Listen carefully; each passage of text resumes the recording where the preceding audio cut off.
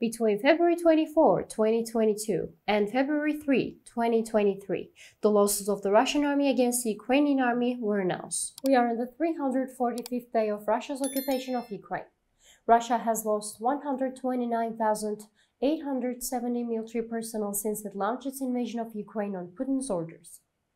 The Russian army has lost a large number of military personnel and military equipment on many different fronts in the last 24 hours.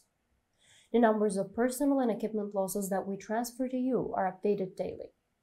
Russia's current losses are as follows 129,870 military personnel, 294 aircraft, 284 helicopters, 3,215 tanks, 6,388 armored combat vehicles, 2,215 artillery systems, 222 air defense systems, 460 multiple rocket launchers, 5,068 vehicles and fuel tankers, 18 ships and boats, 1,952 tactical unmanned aircraft, 796 cruise missiles, 202 special vehicles and other equipment.